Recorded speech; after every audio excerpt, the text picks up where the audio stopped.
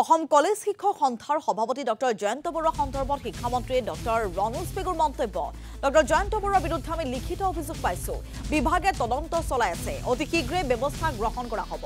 মেট্ৰিকৰ প্ৰশ্নকাকত ফাদিল বিতৰ্ক সন্দৰ্ভতো শিক্ষামন্ত্ৰীৰ স্পষ্টীকৰণ।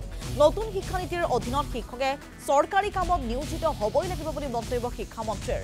অসম চৰকাৰ অন্য কৰ্মচাৰীক যেনেধৰণে বিভিন্ন কামত নিয়োজিত কৰা হয় ঠিক তেনেকৈ শিক্ষকসকলো অন্য কামত নিয়োজিত হ'ব লাগিব।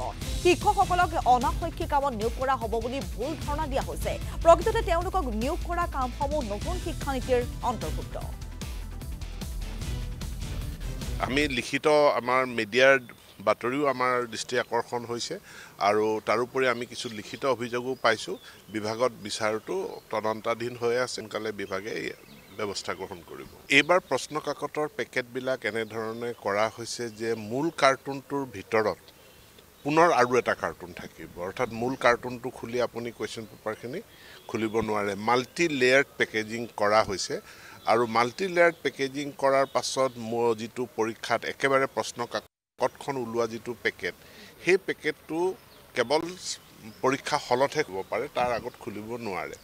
গতিকে মূল কাৰ্টুনটো খোলোতে যদি বেলেগ কোনো ছাবজেক্টৰ প্ৰশ্ন কাকত ওলায় তেতিয়া কুৱেশ্যন পেপাৰখিনি তাৰ পাছতো সুৰক্ষিত থাকে তাৰ পাছত সলনি হ'ব পাৰে। গতিকে এতিয়ালৈকে আমি দুটা ইনচিডেণ্টৰ ঘটনা পাইছোঁ।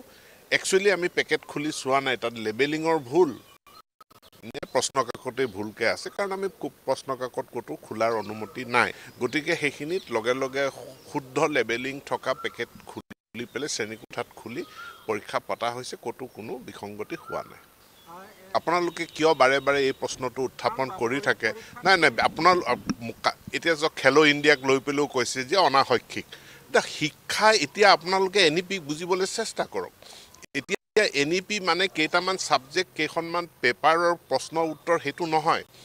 ই হলিষ্টিক এডুকেশ্যন বুলি কৈছে। এতিয়া হলিষ্টিক এডুকেশ্যন বুলি যেতিয়া আমি কওঁ ই সকলো দিশ সামৰি লোৱা গছ পুলি ৰোৱাৰ পৰা আৰম্ভ কৰি খেলো ইণ্ডিয়া মানে সাংস্কৃতিক মহাসংগ্ৰাম এই সকলোবিলাক শৈক্ষিক।